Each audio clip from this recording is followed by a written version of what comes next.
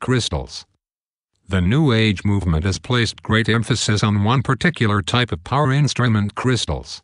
These attractive chemical solidifications are now regarded as being the wonder substance of New Age belief and have permeated into the world of popular culture. The celebrity world is awash with high profile, spiritually aware people who attest to the positive power of crystals.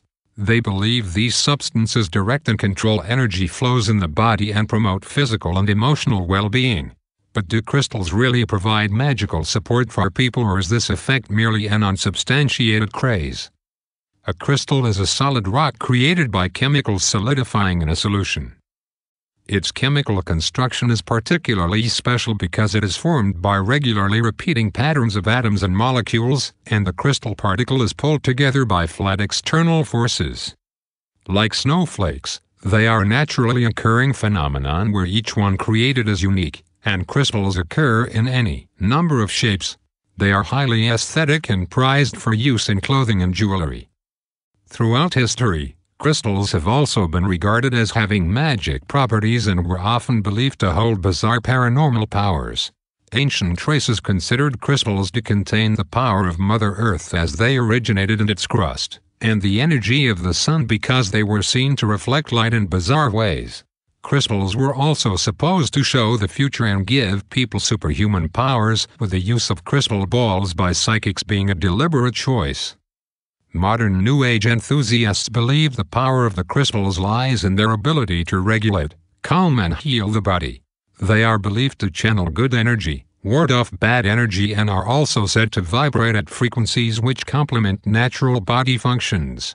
Lifestyle gurus declare that crystals promote self-expression, meditation and creativity, and that a full complement of different crystals is needed to engage with all a person's needs. Different crystals are said to affect the body in different ways. Amethysts are believed to help headaches, eye and hair problems, balance blood sugar levels, increase psychic abilities and reduce anger, impatience and nightmares. Emeralds apparently increase the efficiency of a body's respiration, heart and blood systems, lift depression and insomnia and evoke peace, harmony, patience and love. Finally, diamonds increase clarity, confidence and trust, clarify attitudes and thoughts and develop prosperity, generosity and love. What better reason could there be for buying them for a loved one? In recent years it has been fashionable to employ crystals in jewelry, not only for aesthetic qualities, but so as to have beneficial power sources near the body.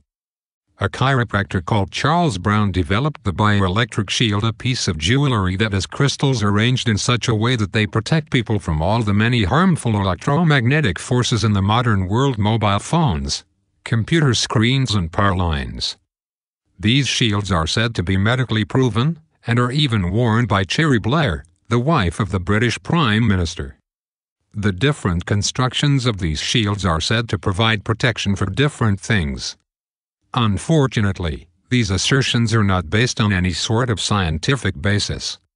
Indeed, they are based on nothing more than blind faith. Skeptics believe any reaction they do have on human beings is the result of selective or wishful thinking, more self deception, and placebo effect. But crystals do have many vital roles in our modern world. They are important components in electronic, optical and communication industries, and feature in many types of high-tech equipment. These functions are due to one special function that crystals really do have. In 1880 Pierre and Jacques Curie realized that certain crystals produce an electrical change when they are compressed. This discovery was termed the piezoelectric effect, and now, crystals are used for highly scientific purposes. However, the piezoelectric effect has no effect on the human body, and crystals provide no protection from illness, calamity, or misfortune. That does not detract from their beauty, but as far as science is concerned, the magical power of crystals is completely unfounded.